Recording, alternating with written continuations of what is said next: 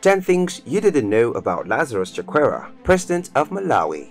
Hello explorers, welcome to another informative video presented to you by Displore and thanks for watching. In this video, we will be looking at 10 things you didn't know about Malawi's current president, Lazarus Chakwera.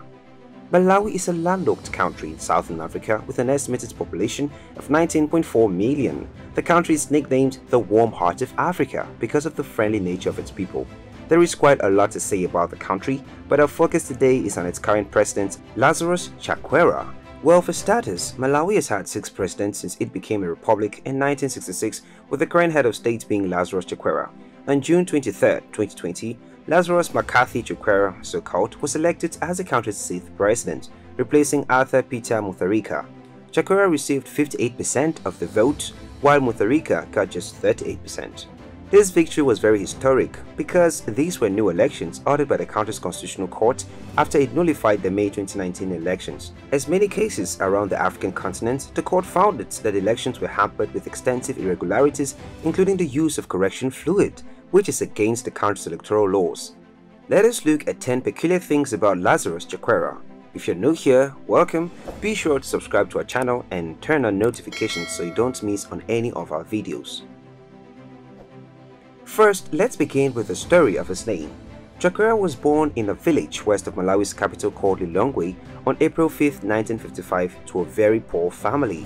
Two of his older brothers had died at childhood in the maudlin poverty of colonial Malawi and the community believed that there was a curse in the family, a curse. Unsurprisingly, his father named him Lazarus after the biblical story of Lazarus whose life was restored by Jesus four days after his death.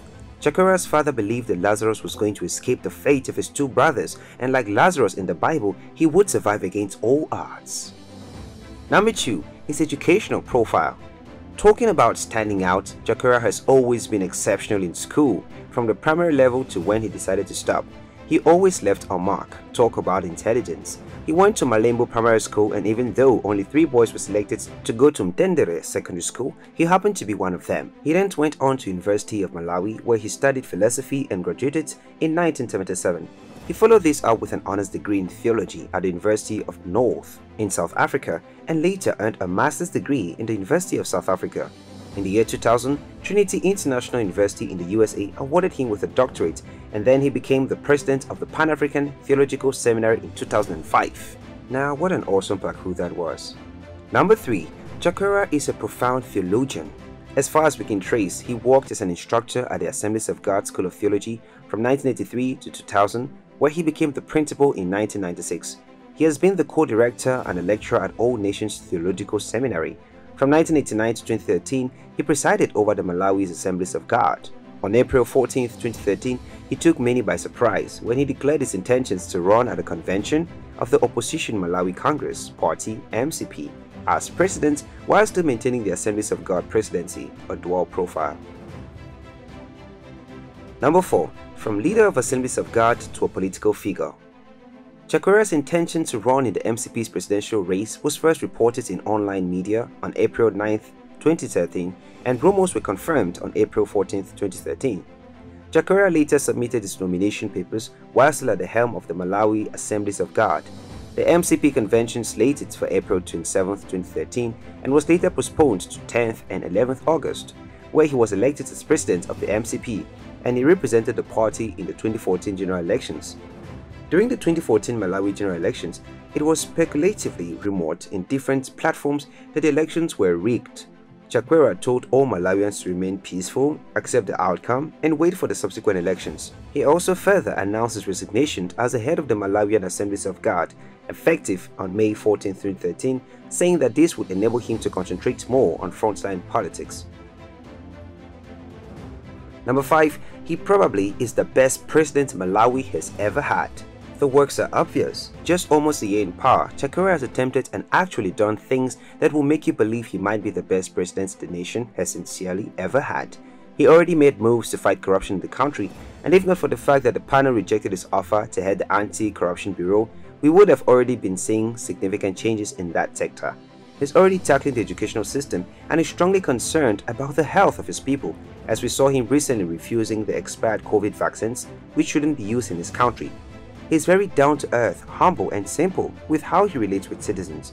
You hardly see him posing as a ruler, but as a servant to the people, as he constantly reminds them with words and actions that he is there to serve and not to rule. Number 6. His view and approach to politics. Contrary to public opinion that politics is a dirty game, Chakwera believes that it is people who make politics dirty. What do you think about that? In fact, to him, people are dirty and not politics in itself. He believes that when you're talking about politics in terms of creating an environment in which you follow policies and what makes the common good possible, and it is all about leadership and good governance, you don't really have to be dirty in order to succeed. Being so deep in the religious front, it came as a surprise to those close to him when he decided to enter politics. In his reply to the question, he says that he sees politics as an extension of his mission to serve people, this time on a bigger stage than a pulpit. Number 7. Chakwera's interest in cannabis to increase Malawi's GDP. Well, this may sound controversial, but President Chakwera's religious values do not stop him from being a realist, a proper economist, and an objective president for his country. It is safe to say that no matter how controversial a business is, so long as the ethics is correct, well, he will delve in. Chakwera warned recently that his country's leading foreign exchange earner, tobacco, was in terminal decline and he urged a switch to high-growth crops like cannabis, which was legalized locally for some uses last year. The inconvenient truth is that while Malawi has come a long way by relying on tobacco as a largest single crop contributor to the GDP, this reliance is now seriously threatened by declining demand worldwide. Chakwera said, Clearly, we need to diversify and grow other crops like cannabis, which was legalized last year for industrial and medical use, he added. Lazarus Chakwera is definitely a businessman.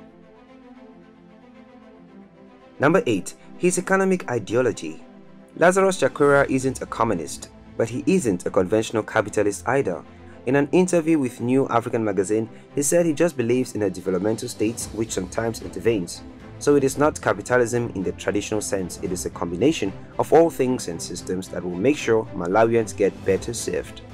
Again, we see that this modus operandi for leadership is serving the people.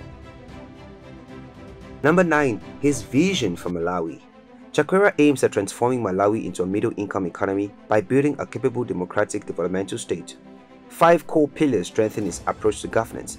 He values servant leadership, he strives to unite Malawians, he believes in prospering together, ending corruption, judicial independence, and rule of law.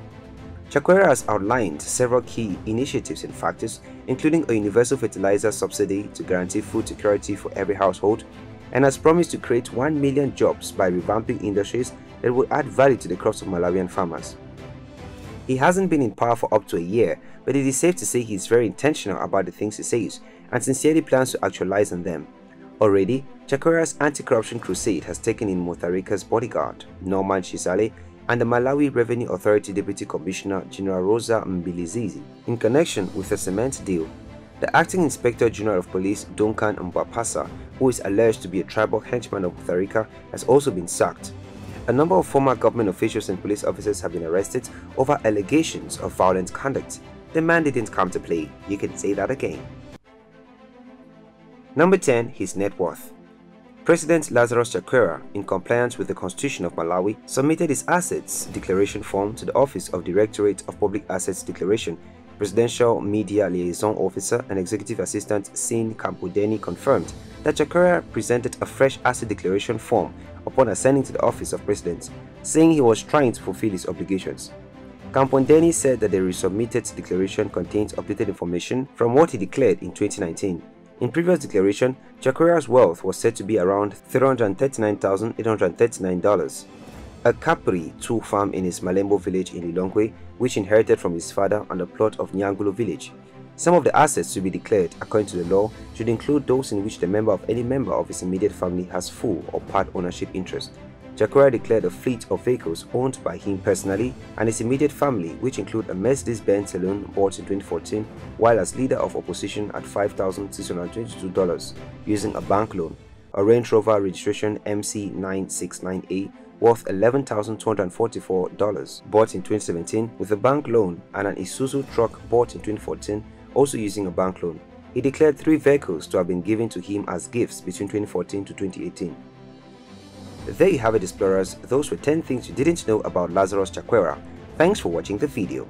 If you did enjoy this video, please do not forget to drop your comments down below. Also, give us a thumbs up and share with your friends. We would like to get your feedback.